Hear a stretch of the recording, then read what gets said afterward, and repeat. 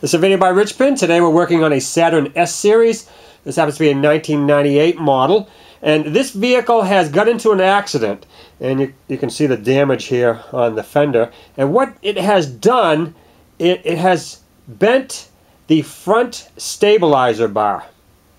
So we're going to get in there today and replace it. And so the first thing we need to do is get the vehicle up in the air, take the front tires off, and put it on jack stands. The first thing we need to do after we get our tires and wheels off is to remove the cotter pin from the lower ball joint and screw the nut off the ball joint as far as we can go.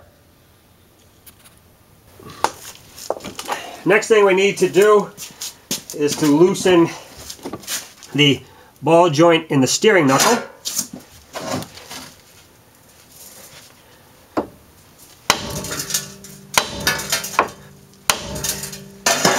Now take a pipe.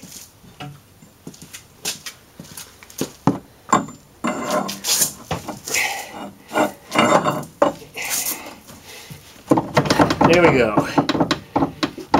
You can see that's loose there. Now we can remove the nut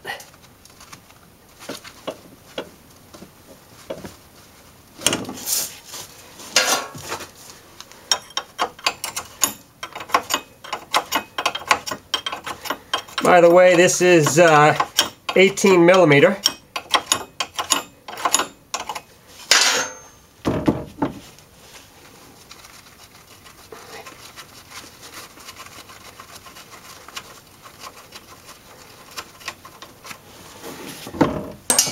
Okay. There we go. It's all clear. Next thing we need to do is to remove this 24 millimeter nut from the stabilizer bar to the lower control arm. Next to give me a little bit more clearance here, what I did is I wrapped the strap around the uh, where the tie rod goes to the steering knuckle here and pulled it back just a little bit to give me some room and we anchored the uh, strap back here. You don't have to do this, but uh, I think it makes it a little easier. All right, we've got the nut turned all the way, almost all the way out to the end of the bolt here. Now what we're doing is we're working on the right side, which is the most difficult side, but we have air tools. Now if you don't have air tools, I would recommend probably you do this on the left side, which tends to be a little easier. All right, so, and this bolt usually gives you the most trouble. So we're going to use our impact, our air chisel, and try to push that bolt out.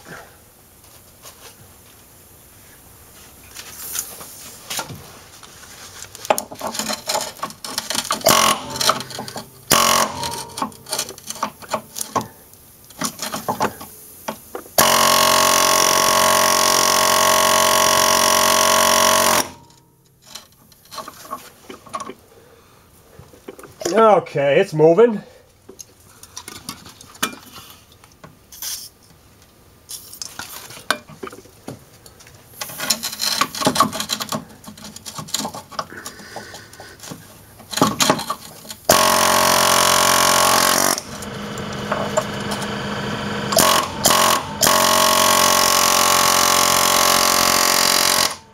There we go.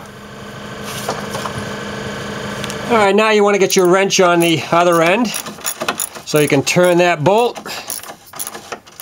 and keep spraying that so you can loosen it up. Alright.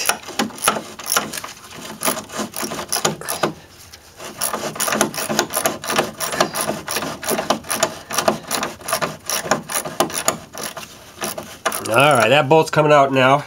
We're gonna have to uh, put our strap on the uh, bar here and pull it over to relieve some of the uh, tension on that bolt. This bolt does take a lot of wiggling and spraying of uh, your uh, PB Blaster in there. But there it is. We got it out. And now we gotta wiggle that arm out of there. Okay, that's gonna take a little bit more work. Now to get that arm out of there, it just takes a little bit of wiggling in and out to get this loose in here. Once you get it moving like that, then it'll come out. Next we need to remove the other 24 millimeter nut on the other end of the stabilizer bar.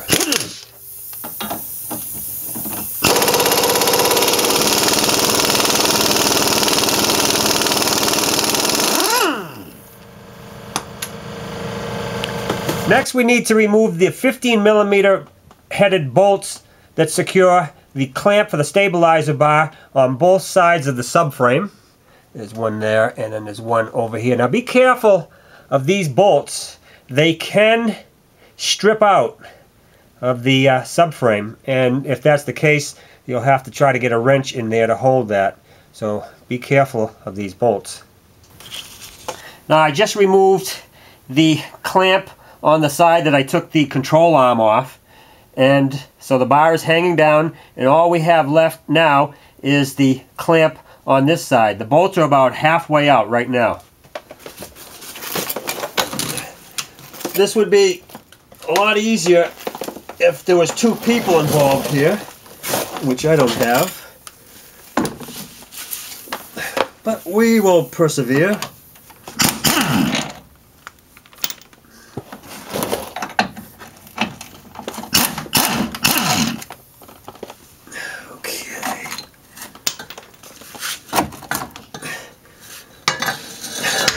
And there's our stabilizer bar.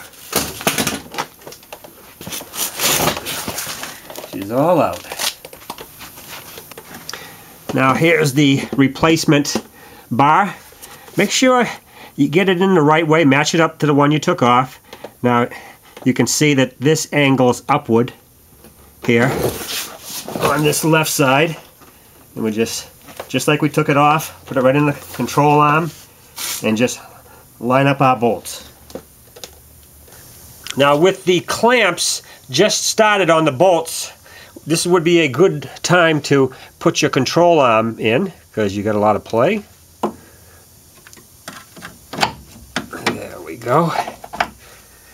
Now we can now we can tighten these clamps up here. On the bolt right here that secures the control arm to the subframe, I would highly recommend putting a little grease in this area right here where it goes through the metal bushing and hopefully that will make it easier the next time you take it off, if there is a next time. So now it's just a matter of reversing our steps from here and we will have replaced our stabilizer bar on our Saturn S-Series.